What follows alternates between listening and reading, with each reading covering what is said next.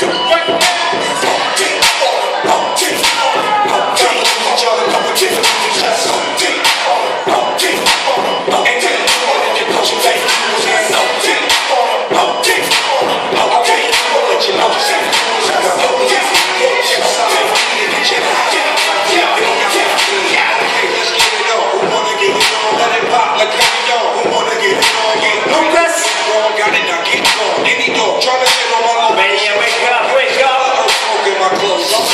show. Chicks dancing like they working the.